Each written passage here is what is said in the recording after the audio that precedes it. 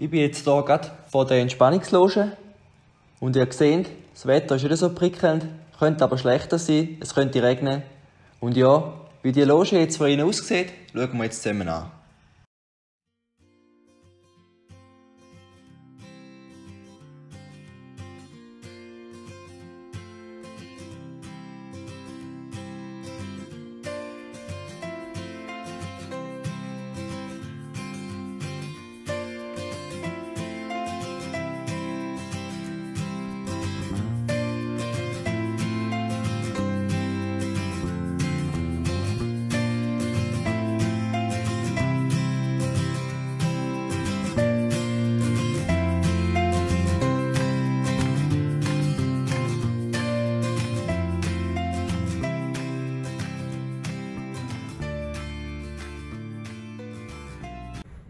Ich habe mich wieder zurückgezogen in die Kabine runter, weil es hier einfach zu luftig ist. Aber ich würde noch gerne zwei, drei Worte sagen zu diesen Entspannungslounge oder Entspannungsinseln.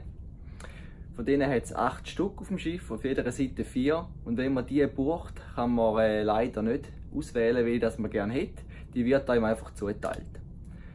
Also entweder hat man den Glück und ist auf der Sonnenseite oder man hat Pech und ist auf der Schattenseite.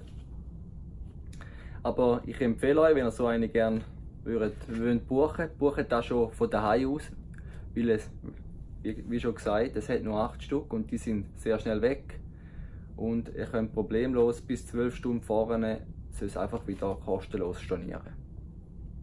Und die Entspannungsinseln sind wirklich sehr gut geschützt. Man hat oben dran noch so ein, ein Sonnendach, das man verstellen kann und hat zwei Liegen drin. Sie sind sehr bequem, gute oder super Sicht aufs Meer. Und zum Preis noch, die kostet 24 Euro äh, am Seetag und 18 Euro am Hafentag. Das wäre es eigentlich schon gewesen und ja, ich danke euch fürs Zuschauen und ich sage an dieser Stelle Ciao miteinander, bis zum nächsten Mal.